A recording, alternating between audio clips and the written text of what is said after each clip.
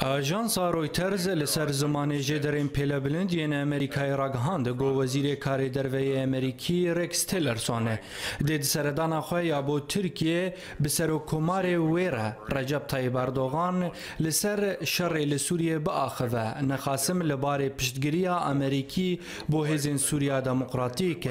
لی تیلرسون به پارتین اپوزیسیون یین ترک را ناجوه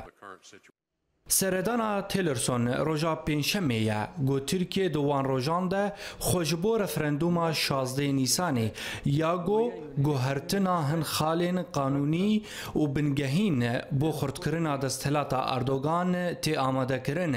رایدارین پیلبلند دیارکرین گو تیلرسون دب اردوگان و وزیرین حکومت را لسر شریل دیجی داعش لسوریه با اخوه هروها تی پیش بین کرن گو دهفدیتنا تیلرسون و اردوگان ده را دست کرنا فتح الله گلان دب خوستن گو ترکیه ویوکه برپرس حولا دربیا لشگری یادمها تیرمها بوری ده دبینه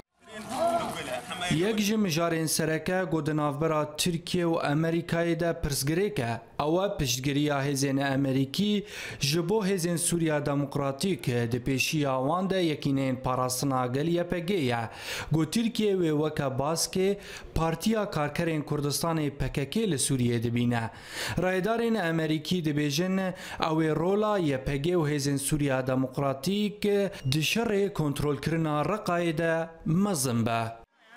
you.